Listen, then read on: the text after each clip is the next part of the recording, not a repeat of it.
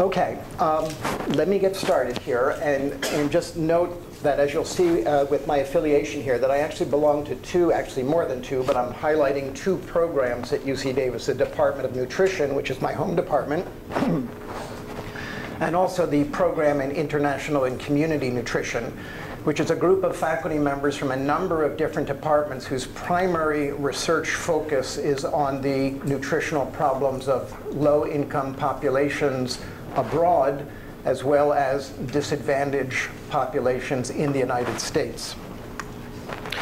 And what I'm going to do this morning is to focus my remarks from this more global perspective to try to place in context what you'll be hearing through the rest of the weekend about the emergence of obesity and overweight as major public health problems, uh, and also to say a, a bit about how we got to where we are.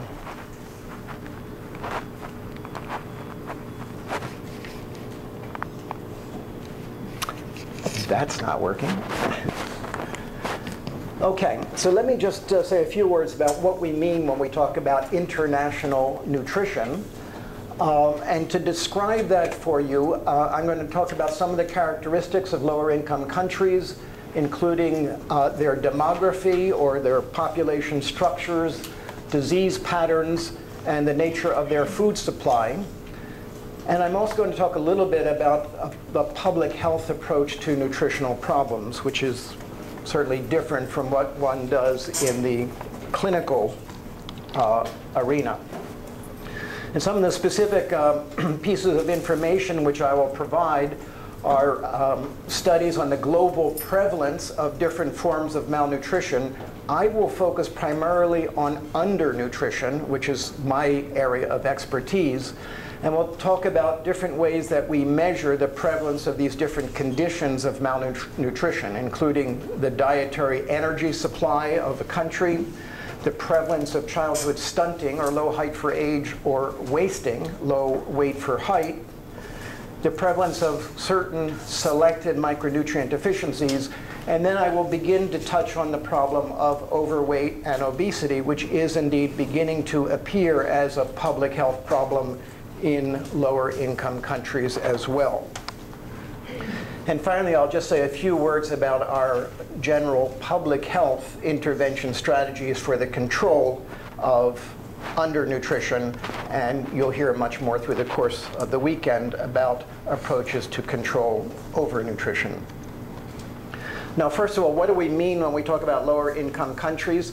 This is the uh, definition used by the World Bank to, to classify countries in terms of the mean per capita income of individuals in the population. So a low-income country is one that has a, a, a gross national income per capita of about $1,000 or less, which is to say that individuals in those populations are surviving on less than $3 per capita per day, certainly much less than what it cost you for your breakfast this morning or what it cost somebody for your breakfast this morning.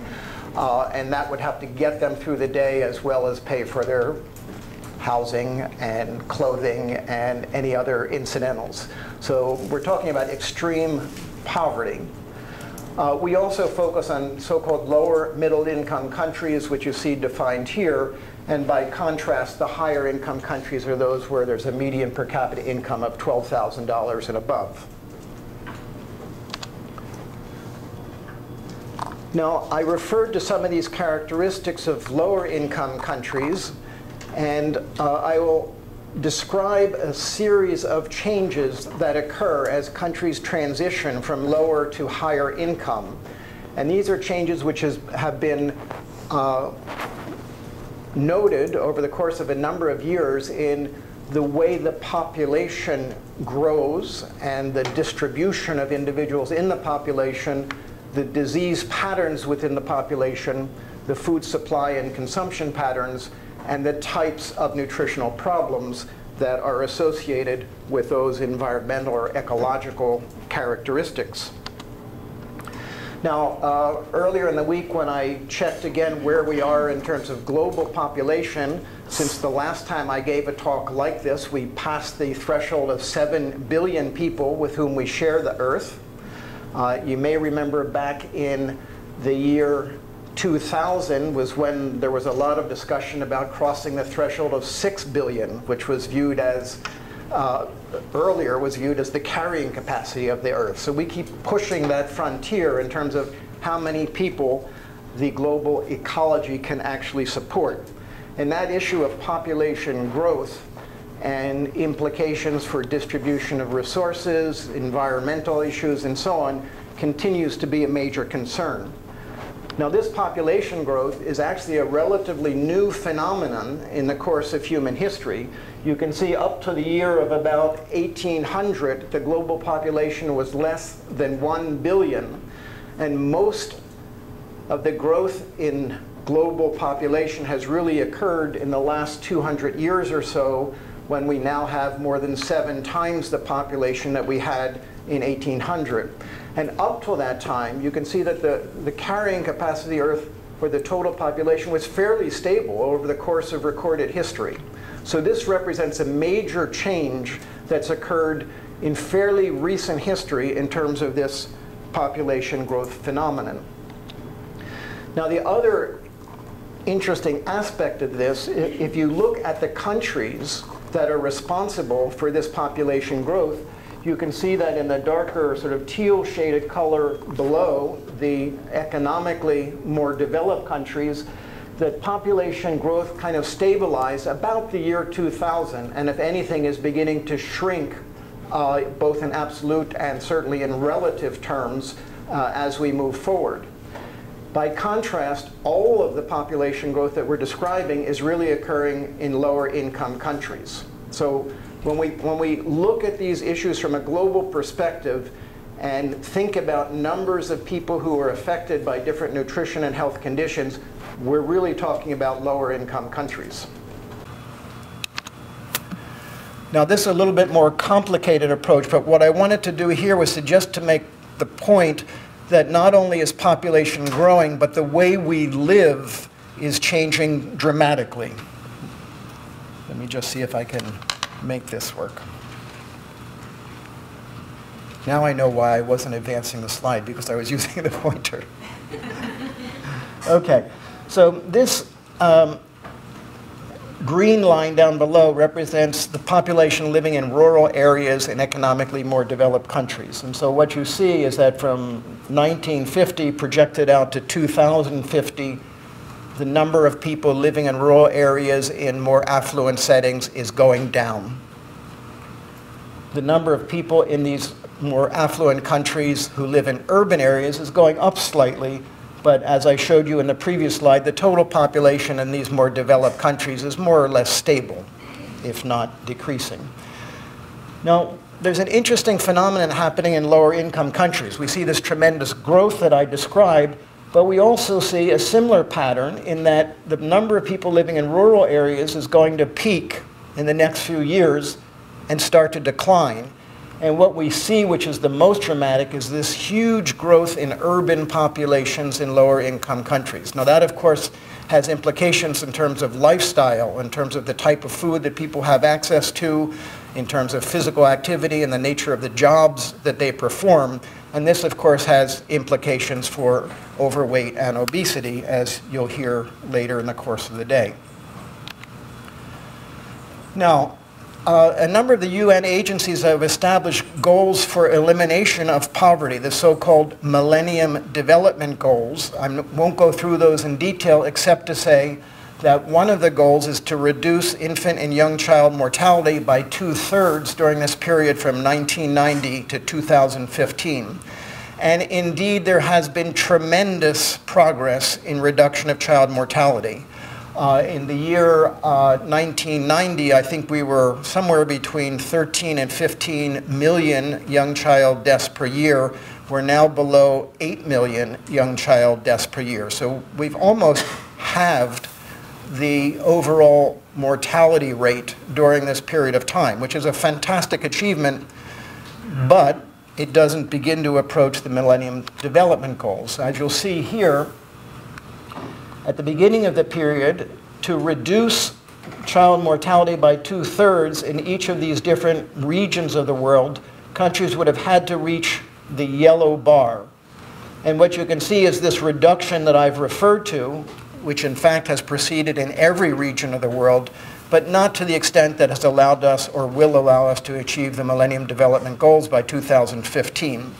So we're sort of stuck in this period now where we are making advances in reducing child mortality, not to the extent we would like, but there's another phenomenon which has not yet changed, and that is the high fertility rate that we see in lower income populations. Fertility rate being defined as the number of uh, children that a, women, a woman bears over the course of her reproductive life. And we see this phenomenon in which in most parts of the world, this happened in the last century, actually the, the late part of the 19th century, uh, in Europe, where child mortality started to come down, and then usually followed by a generation or two, you begin to see fertility rate come down. And that change is what has been referred to as a demographic transition from a high mortality, high fertility uh, environment to one of low mortality and lower or low fertility. Now, the interesting thing is that when you're caught in that middle zone, which is where we are in most of the developing world now, where we've been successful in reducing child mortality, not yet as successful in reducing fertility, we get a huge burgeoning of population because the, the population growth depends on this balance between birth rate and death rate. So what we're seeing now is that we have the beginning of the population transition or the demographic transition in lower income countries, but probably not till the latter part of this century will we begin to see population growth stabilize at a much higher level, somewhere around, well, it depends on whether you use the so-called optimistic or pessimistic scenario, but we'll be up well above 10, 12 billion people uh, on the uh, Earth uh, as we reach stabilization.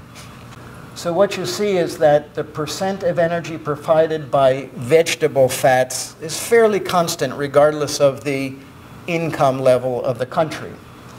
But as income goes up, there's much greater consumption of animal source foods, and with that greater consumption of animal fats. And if you look over on the right-hand side, a greater proportion of the protein intake is now coming from animal source foods rather than derived from plant products. The other major factor is that as income goes up, the use of heavily processed foods, including uh, specific sweeteners, goes up fairly dramatically. So not only do we see these demographic and health changes, but we see changes in the nature of the food supply with increasing economic development, which may not necessarily translate into increased health in all cases. So just to summarize, let's talk about the demographic transition. In traditional societies, we see high fertility, high infant mortality and young child mortality rates, and that results in a young and mostly rural population. Not that it results in, but that's the description of what those countries look like. In more modern societies, we see low fertility, low infant mortality rates, and an aging and urbanized population. With the health transition, we see the change from major causes of death being infectious diseases to what we see in modern societies where the major causes of death now are so-called non-communicable diseases like cardiovascular disease, stroke, and cancer. We also look at nutritional conditions by anthropometric assessment of children's nutritional status. And typically, figures are produced uh, from representative samples of national populations on the prevalence of stunting, that is, the percent of children whose height for age falls below minus two standard deviations of the global standard, the new WHO 2006 uh, growth standard. Uh, we also classify children in terms of underweight or low weight for age using the same cutoffs or wasted, that is low weight for height, again using the same cutoffs. What this map shows is the prevalence of stunting among children less than five years of age in different parts of the world And again, you can see in South Asia and in much of sub-Saharan Africa, more than 40% of the children are considered stunted, which is to say that their height for age falls below uh, minus two standard deviations of the global growth standard. These are data that just came out a couple of weeks ago in Lancet uh, by uh, a, a, group uh, in London who's managing what's called the NIMS project. I can't remember what that stands for now, but I think it's something like Nutritional Indicators of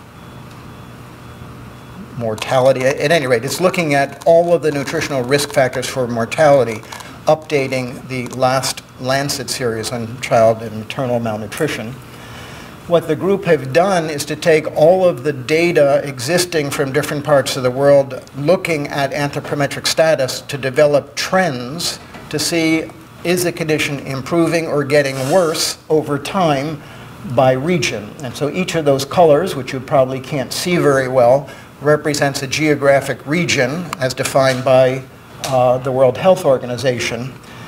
The top panels show the mean height for age and weight for age in the right-hand panel for each of these regions. And what you can see is that in general, we have a pattern that's going up over time. That's good news. We, the, the, the z-score, mean z-score for height for age and weight for height, is going up. But if you look at the axis here, this top axis here is minus 0.5. So even in the best of scenarios, the mean value in uh, these different regions of the world has still not approached a z-score of zero, which would be consistent with uh, the global standard. So things are improving, yes, but we still have a long way to go. What the other graphs show is the prevalence then of stunting and wasting. So this bar shows the percent of children who are less than minus two standard deviations, either for height for age or weight for age. And again, the prevalences are going down in most regions. That's the good news. But they still remain very high, from 20 to as much as 60% in South and Southeast Asia. And the other less than happy news is that this blue band here, which represents sub-Saharan Africa, is not really improving over this course of time. So a lot more work needs to be done in that particular region. Now, why do we care? Is it that important to be a little taller or weigh a little bit more? Maybe not, but if you look at the relationship between uh, anthropometric indicators of nutritional status and risk of dying, what we see, this is now expressed as percent median, not z-score, but as children fall below 85% height for age as their z-score, the risk of mortality in all of these countries where that was studied begins to skyrocket.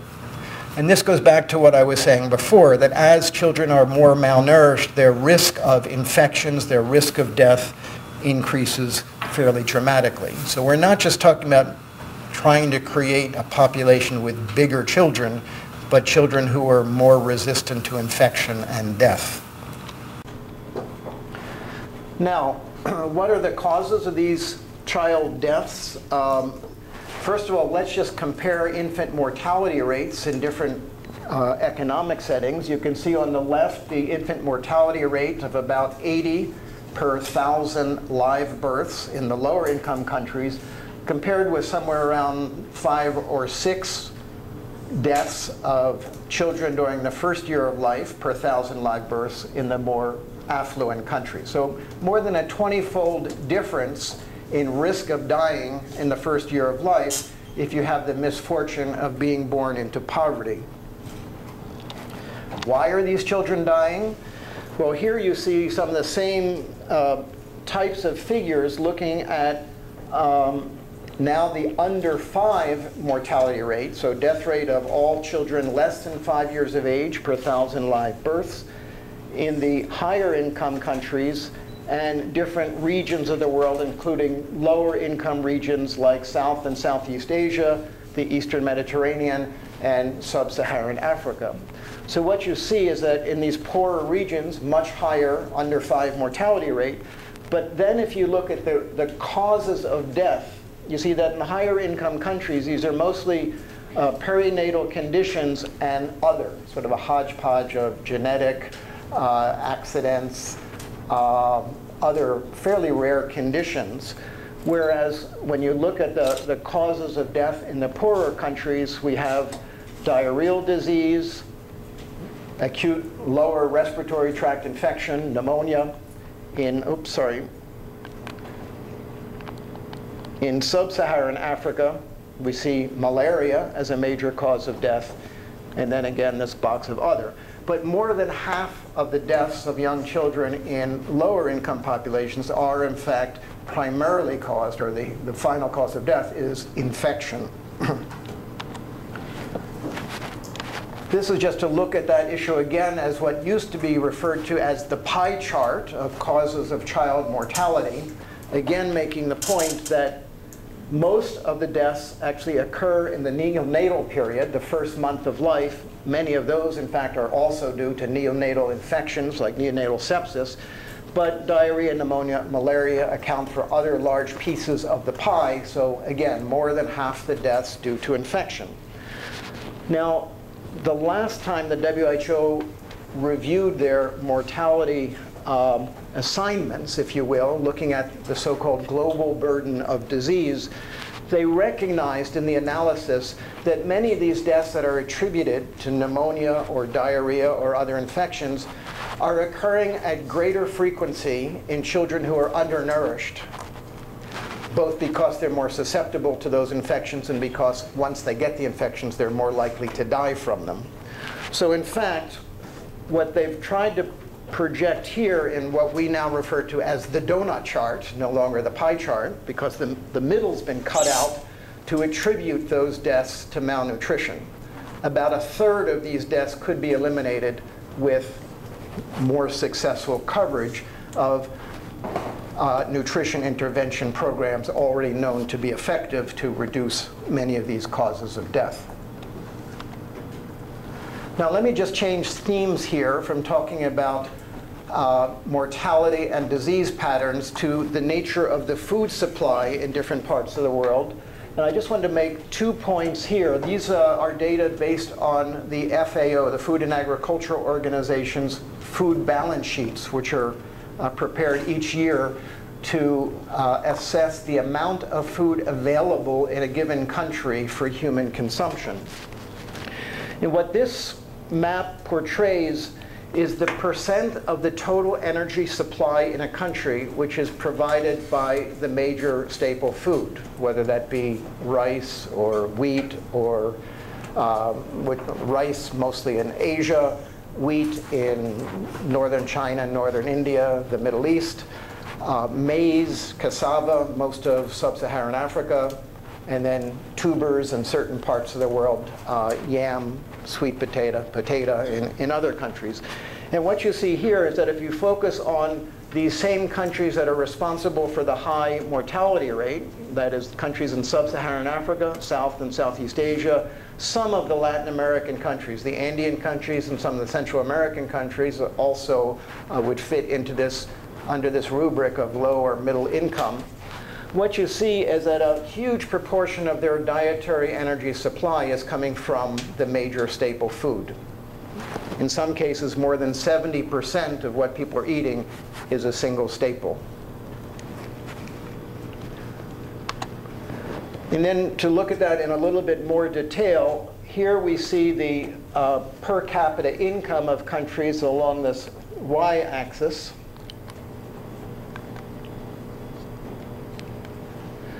And the percent of total calories provided by different components of the food supply. We also see with increasing economic development this dietary transition from starchy staples, low-fat diets with few animal source foods to diets that are higher in refined cereals and sugars, higher in fat, mostly coming from animal source foods.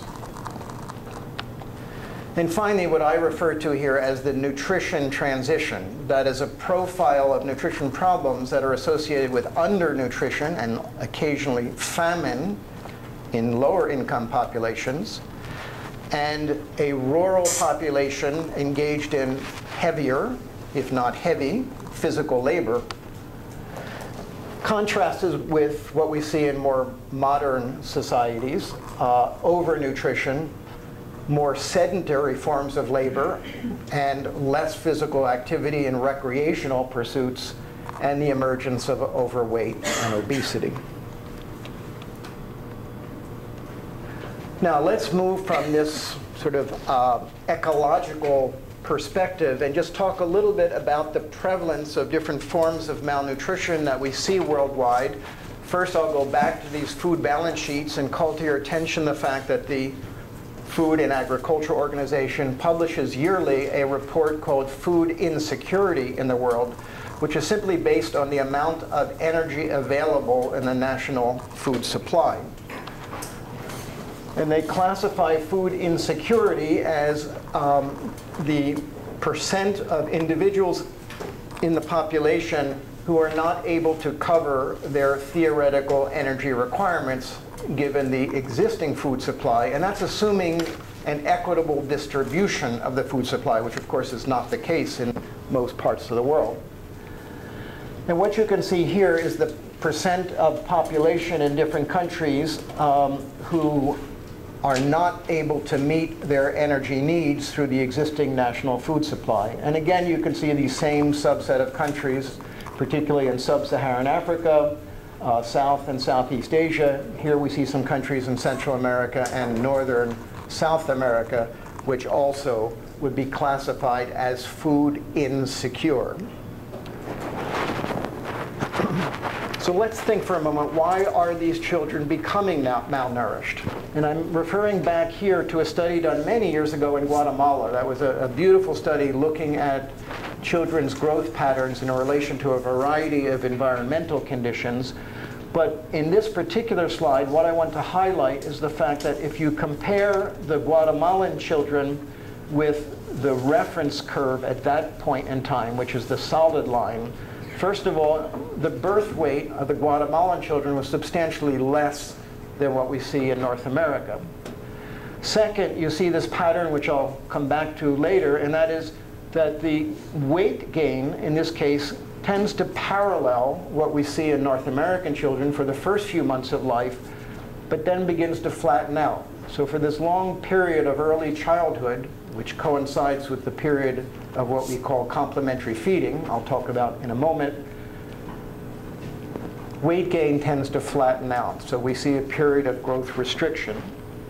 And the final point I wanted to make is that each of these lines reflects a, a track or a cohort of children according to their birth weight. And what you can see is that children with lower birth weight consistently are smaller throughout their childhood than uh, the children with higher birth weight. So much of their growth potential has already been determined at the time of birth, which is to say that the intrauterine experience of these children is already affecting what they will ultimately look like later in childhood. So why uh, do these children have low birth weight, you should be asking. And in fact, there are a number of reasons, but perhaps one of the most important is maternal nutritional status. This is a recent meta-analysis looking at the relationship between maternal body mass index and the risk of low birth weight, that is birth less than 2,500 grams, 2.5 kilograms, whatever that is, about five and a half pounds. And um, what you see here is that uh, children who are born to mothers with low body mass index are about twice as likely to be born with low birth weight. So now you begin to see this pattern where you have undernourished women giving birth to low birth weight children who grow less postpartum. What we refer to as this vicious cycle, if you will, of intergenerational malnutrition. So we need to expand our thinking in the prevention of malnutrition to focus on girls before they get pregnant, women during pregnancy, and children during the early months and years of life. Uh, this is just to emphasize the point of the relationship between maternal nutritional status and birth weight, looking at factors that explain intrauterine growth restriction. And you can see that maternal short stature, maternal low pre-pregnancy weight, and maternal low caloric intake during pregnancy or low weight gain during pregnancy explain about half of the risk of low birth weight, or IUGR. And it's not just maternal weight or energy status that's important, it's also maternal micronutrient status. And I won't get into this in great detail, just to give one example. And this is actually from a US population who were supplemented with iron or placebo during pregnancy. Uh, this was a study done by the Centers for Disease Control that showed that the uh, percent of children in the US born with low birth weight decreased from 17% in the placebo group to 4% in the group whose mothers were supplemented with iron during pregnancy. So there are a variety of specific micronutrients during pregnancy that also are influential in birth weight and, as we may hear from Christine, in postpartum growth of children as well. Okay, now let's look at growth postpartum. We talked about the importance of birth weight as a predictor of children's ultimate growth, but we also see this is a, a, a graph of mean z-score for um, different regions of the world. This is height for age z-score. So if these children were growing the same as North American children, you'd see straight lines at zero. That's what's expected. The fact that these z-scores are falling almost from shortly after birth to about two years of age means that there's something going on in this postnatal environment as well that's causing growth failure postpartum. There are a number of reasons for that. Obviously, the quality and the amount of the diet are important, but this is also a period when children have high risks of infection, and we know that infection contributes to malnutrition, and as I said before, malnutrition uh, affects the risk of infection. So again, we have this other vicious cycle of malnutrition and infection, uh, which place these children at greater risk of poor growth postpartum. Now, much of the key to this is breastfeeding. Uh, we know that breast milk is nutritionally adequate for children for the first few months of life. We assume at least six months of life with regard to most nutrients. And we also know that exclusive breastfeeding is protective against infections because children are less exposed to other contaminants in the environment, particularly foodborne contaminants uh, that cause disease. And this is just to re-emphasize that point to show that with regard to diarrhea-associated deaths, if you compare children who were exclusively breastfed, this reference category in green, and children who are not breastfed, there's a tenfold risk of dying among children who are not breastfed. This is in the first six months of life and a 15-fold increased risk, which is not always appreciated, for dying of pneumonia among non-breastfed children. We also can see the same thing with morbidity or these diarrhea and pneumonia incidence figures, which are major explanatory variables in terms of that poor postnatal growth pattern.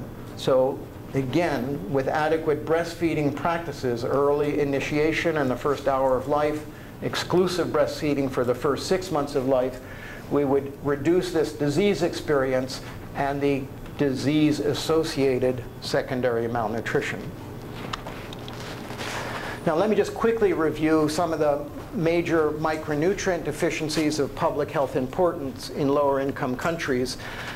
We um, define these as being important in public health terms, one, because of a relatively high prevalence of the condition, and two, the fact that that condition then predisposes to some adverse health outcomes. So when we talk about vitamin A deficiency, we know that vitamin A deficiency is a major cause of childhood blindness worldwide. Uh, and uh, has also been shown to be associated with an increased risk of severe infection and mortality. A number of mineral deficiencies are critically important. Uh, I can't show you a picture of zinc deficiency because there aren't obvious clinical symptoms of uh, the prevailing mild zinc deficiency. But we also see a high prevalence of iron deficiency as evidenced by this so-called palmar, pallor, the very light color of the palm, which is the way you can diagnose clinically the presence of moderate or severe anemia iodine deficiency not only resulting in goiter, but in some settings resulting in cretinism, so growth retardation and uh, mental deficiencies, developmental deficiencies related to severe iodine deficiency. And we're sure that there are other micronutrients of critical importance. There just isn't sufficient data yet from poorer populations to know the prevalence and severity of these conditions. I'm going to have to go through this very quickly because I'm soon to run out of time, but I just want to let you know that the World Health Organization does track the prevalence of these major uh, micronutrient deficiencies uh, this is the latest update on the prevalence of vitamin A deficiency. So countries that show a darker green color are ones with a higher prevalence of vitamin A deficiency. Many of these same countries in the tropical belts of Asia and Africa and South America, Central South America, again show up as high, having a higher risk of vitamin A deficiency. Again, why do we care? Well, there are a number of trials um, that have been done providing vitamin A supplementation to children in these high-risk countries. And the overall result of these trials is that there's a 23% reduction in child mortality, a huge reduction, uh, simply with the delivery of vitamin A capsules. And this is a, a real success story in terms of public health programs globally. By delivering high-dose vitamin A capsules twice yearly, uh, we believe we've had an important impact in contributing to this lower uh, uh, uh, infant and child mortality rate that I described to you previously. I'm going to skip this for the moment, and I'm going to skip this and this. So let me just finish by saying a few words about some of the approaches we have to uh, address these problems First and most important, as nutritionists, we're always focusing on the diet as the provision, the, the major way of providing nutrients. And so to improve the quality of the diet, we need to modify in a variety of different ways what people are eating or how they're eating it, so-called dietary diversification and modification approaches. These are difficult because they require changes in the access to food, and they also require behavior changes on what foods are, are selected and how they're consumed. So among the list of possible interventions, of course, is the focus on breastfeeding that I've already described to you, appropriate complementary feeding. We're not going to have time to talk about that, but essentially this is the first foods that a child gets in addition to breast milk beginning at about six months of age greater use of animal source foods as particular foods that are rich in bioavailable nutrients, and particularly some of these limiting nutrients that I described, vitamin A, iron, zinc, uh, uh, for which animal source foods may be the only way you can make the traditional diet sufficient using a food-based approach. And finally, agricultural interventions, both to increase, increase the, the total food supply. Remember, we talked about food insecurity being an issue in many countries, but also to improve the nutritional quality of the food supply. And we're now working on a series of interventions called biofortification, where we selectively breed for varieties of these major staple foods that are rich in particular nutrients so that we can enhance the nutrient intake. And then finally, uh, simple uh, approaches to food processing to improve the food quality, both from a microbiological perspective as well as a nutrient bioavailability perspective. There are a number of other intervention strategies to specifically to control micronutrient deficiencies, including supplementation, providing specific nutrients in more of a medicinal form, food fortification, adding nutrients to the food supply. This is only possible, of course, if the food system is sufficiently developed to be able to do this. And then finally, what I refer to as public health interventions, that is reducing the incidence of infections that contribute to malnutrition. For example, by increasing hygiene and sanitation to reduce diarrheal disease, to provide intermittent preventive treatment for malaria or insecticide-treated bed nets, uh, to reduce malaria incidence by periodic deworming to reduce the nutritional uh, complications of intestinal helminth infection. And the final thing that we must continue to do is to screen for malnutrition so that those children who fall through the cracks of these preventive interventions are identified with weight, height, or often what we do in communities is simply arm circumference, to identify those at risk of acute malnutrition and provide more intensive counseling or food supplementation as required. Now, I wanted to finish with just a couple of comments to introduce the next set of speakers who will be talking about overnutrition, overweight, and obesity, to say that the World Health Organization in 2005 began for the first time to track the prevalence of overweight and obesity in lower income countries as well. And this is what the global map looked like in 2005. The red countries are those that have a very high prevalence of uh, uh, high BMI, greater than 25, among women greater than 30 years of age. So you can see North America and a couple countries in Africa and the Middle East, very high prevalence of overweight and obesity. 2015 projections show that more countries in South America are going to join this unhappy story, as well as a few more countries in the Pacific region and the Middle East. There seems to be a direct trade-off in the prevalence of underweight. This is the prevalence of um, um, underweight in selected countries, and in the right-hand panel for the same countries, the prevalence of overweight. We just don't seem to be able to get it right. In the process of this transition of moving from lower prevalence of underweight we almost automatically seem to slip into this uh, um, picture of high prevalence of overweight. And that's the real challenge. How do we get that right? This is not just a problem of women or adults, but we're also beginning to see the emergence of higher or increasing prevalence of overweight among uh, preschool children. These are global estimates and projected out to 2020. Still low compared to what we see in the US, for example, but increasing in an alarming way. And we can see that this increasing prevalence of overweight and obesity is occurring in all regions of the developing world. So to finish, let me just remind you again that most of the world's population live in lower income countries where the major nutritional problems are still related to undernutrition, low birth weight, poor infant young child feeding practices, stunting, wasting, and micronutrient deficiencies. And the greatest risk of these problems occurring among women and young children. So most of our focus in public health programs now is on the so-called first thousand days from the period of conception through the first two years of postnatal life when the greatest bulk of this malnutrition is occurring. We need these effective public health, well, not that we need them, but we already have effective public health uh, interventions that are known to work and can ameliorate these problems, but they're simply not yet being implemented at sufficient scale to address the problem.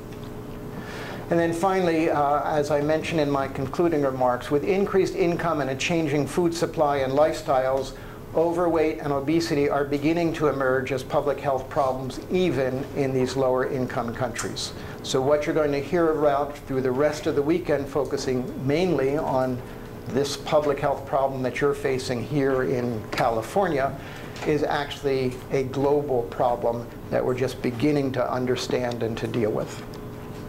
So I will finish there, say goodbye to all of you, and thanks again for the opportunity to speak with you.